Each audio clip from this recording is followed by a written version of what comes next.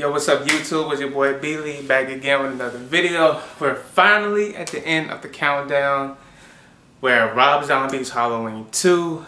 Um, if you didn't see my Halloween Resurrection review, I noted that I um, recorded a review for Rob Zombie's Halloween uh, like a long time ago and I just added that video in the Halloween franchise playlist. So if you haven't seen that, please make sure to um, see that review. It's right there in the playlist. But to begin this review, um, this movie was different. This Halloween movie was different. And this is one of those times where I felt like Rob Zombie, you knew better when you uh, did this movie. I mean, it was okay, but it had that Curse of Michael Myers vibe to it. And you guys know how I did not like that one.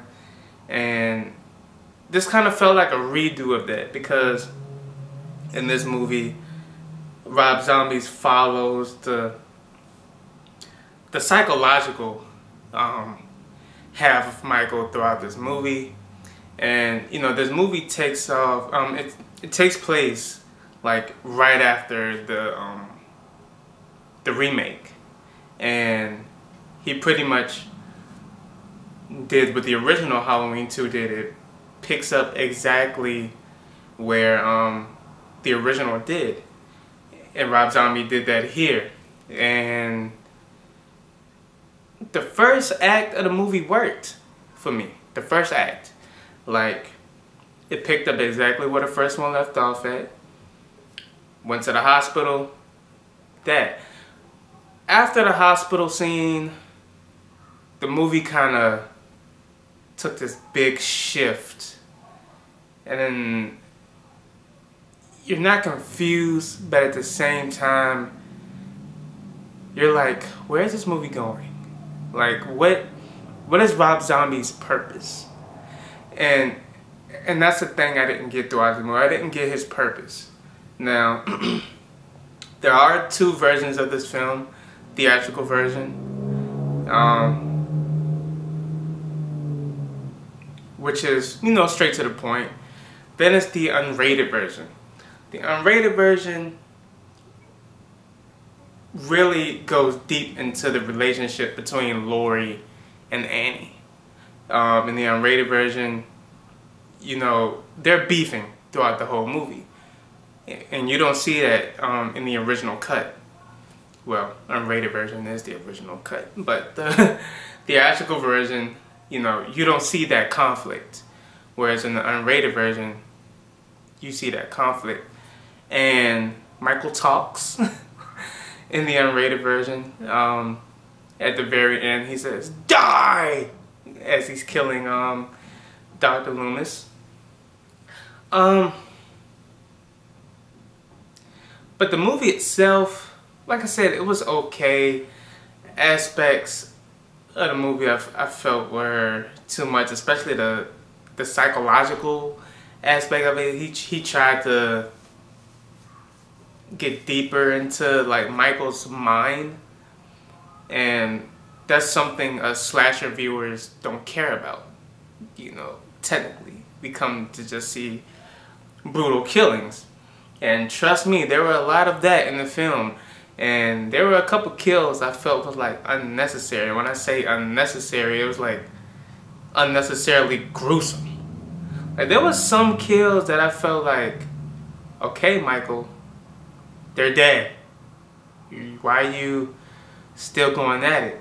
But hey, um, Dr. Loomis, he wasn't even Dr. Loomis in the movie. He was just a douche author who um, wrote a book capitalizing off the events of the first Rob Zombie Halloween film. And, you know, he saw that, he saw this as an opportunity to make another book, make money off of it. He's like famous and all this stuff. So he's pretty much a douche like this whole movie, which is like, what is going on here? But um, Laurie, she's like a bad girl now. She's not the sweet, innocent Laurie Strode we had in the first one.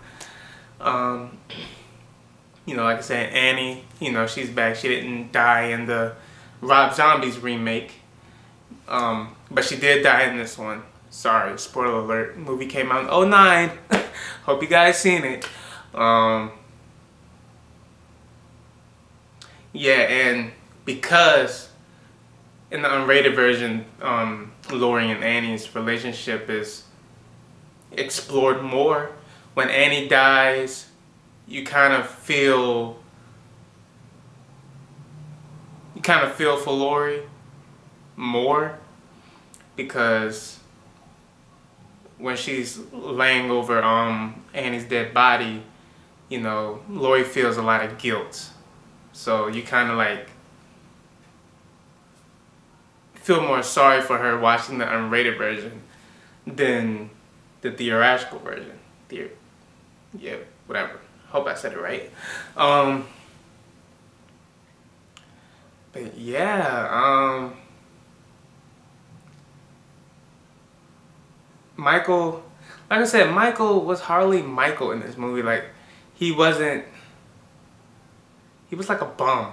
Like, Michael had on Michael had on his original attire, plus like a big old hoodie with the hood on. He had like his hood on the whole movie. There were some scenes where he had his mask off. He was just walking around. Like I'm, I was just like, this isn't Halloween, you know.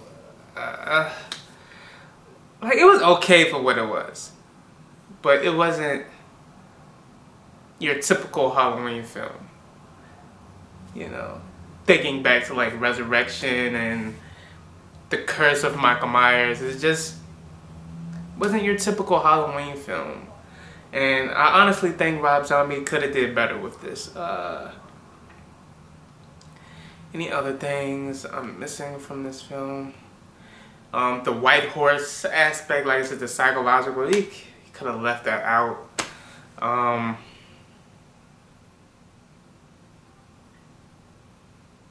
There's a lot of stuff in the movie Rob Zombie could have left out just to make it a simple sequel. Like if you like, I would have stuck with the the hospital idea. Source material is there for a reason. But hey, what do I know? I don't make films. I just have to report how I feel about them.